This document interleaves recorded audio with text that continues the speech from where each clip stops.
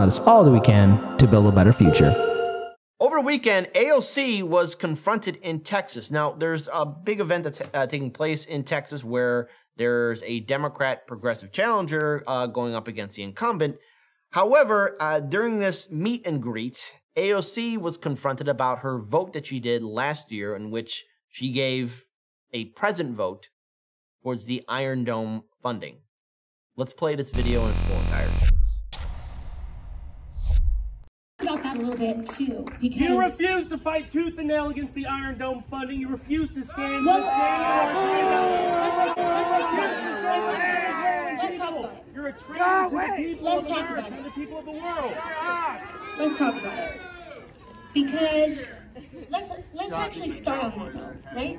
Because I don't believe in elephants in the room. Let's speak on it because we are all here in solidarity to fight for human rights for Palestinians and Palestinian kids. So if we care about this, my brother, if we care about it, we gotta be about it. Yeah. We gotta be about it. And when the votes happen, and when the votes happen, they have to about that a little I wanna bit play it again. Hold. You Pause refuse right to here. fight tooth and nail. just pause right here. So, uh, and I want to rewind it. I want to play it again one more time. But I think it's very important that every politician gets called out for their vote, or when they do screw up, or when they fail to follow through with their promises. Now, AOC, being one of the heavyweights in the progressive movement in the Democratic Party, she one time, again, when Tulsi Gabbard was still a representative for the state of Hawaii, constantly was pointing her finger at her, saying, "How dare you vote present? How dare you state state present uh, during the Trump impeachment situation?" Now, during that infamous showdown between AOC and Nancy Pelosi, where Nancy Pelosi was berating and yelling at her, AOC changed her no vote to a present. And for a lot of progressives, I mean, this is like a huge slap in the face because if we all rewind back the clocks, especially in 2018, AOC ran a campaign to stand in solidarity with the Palestinian people and bring to the address of the apartheid situation that's happening in Israel. But since then, AOC has wavered. Let's play that video again one more time for our viewers.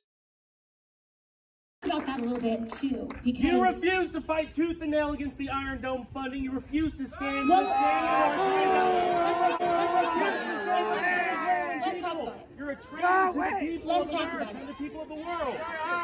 Let's talk about it. Because let's let's actually start on that note, right? Because I don't believe in elephants in the room. Let's speak on it because we are all here in solidarity to fight for human rights for Palestinians and Palestinian kids. So if we care about this, my brother, if we care about it, we gotta be about it. Yeah.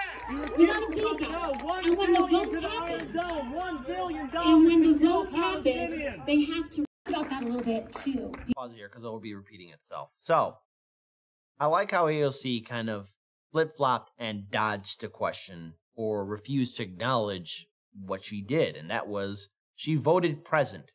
She changed her no vote to a present. And when being called out on it, she says, We all have to be better. AOC, that opportunity is right there before you. Now, why is AOC in Texas? Well, I think it's very important to bring this up. This is an article from Common Dreams. A better Texas is possible. Uh, Representative AOC uh, rallies for, uh, again, Cis, uh, Cisneros. Uh, she is actually a candidate that's right now. Uh, Jessica Cisneros is challenging Democratic incumbent Representative Henry Siller in the dist- in District 28, and Greg Casar running for an open seat in the state's newly created District 35. Both districts stretch from Austin to areas in and around San, Anto- San Ant- Ontario.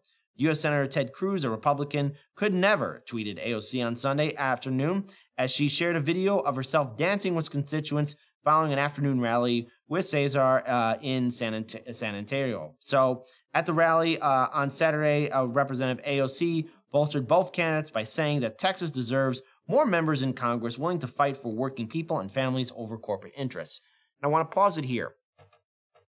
And this is a big question I want to ask a lot of these Democratic candidates running um, in this election cycle. When will be the breaking point in which you start falling in line with the establishment, following the party leadership? Because throughout all of 2021, the Democrats and the Biden Harris administration had numerous opportunities to do the right thing, to implement real change. But since that year, what did we see throughout all of 2021? The Biden Harris administration still implementing a lot of Trump's foreign and domestic Believe. Policies, Michelle Obama especially south of the border. The kids are still in cages. That crisis area is still happening. And they're still implementing Trump's policies. We also look at the House progressives and even the Senate progressives in the Democratic Party when it came down time to challenge the leadership or either that use their own political power against the Biden Harris administration, they've done nothing except give praises. Nothing for Medicare for all, nothing for UBI, nothing at all. We've gotten nothing throughout all the 2020 election cycle. They were promised there were promises that were made that were never followed through with because let's face it, that's what the Democrats are good at. So this whole idea of turning a state maybe red to purple or blue, it doesn't matter because at the end of the day, we have a corrupt system and people who lack the will and heart to challenge the system. We are in this neoliberal nightmare where Americans are still struggling day in, day out. Now, look, in theory, maybe if we rewind back the clocks, I would have liked to have seen more progressives in the House and Senate. But the whole idea of reforming the Democratic Party at this point seems to be a fool's errand. Nothing has changed. The ruckus that we were promised never came. The one thing right now that the Democrats should hope for is that maybe enough people are still suffering from Trump derangement syndrome, that enough people could possibly turn out. Now, it's been proven that midterms usually have a low voter turnout.